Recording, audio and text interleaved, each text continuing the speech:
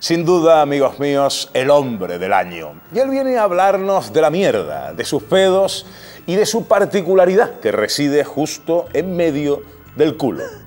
Un agujero. Es la señal.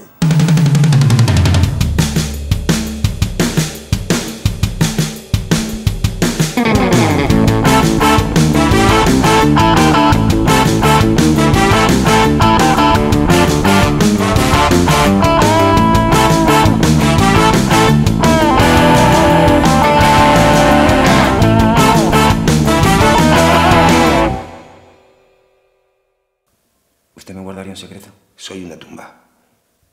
Vale. Tengo un... Tengo un agujero en el culo. Eres el hombre del año.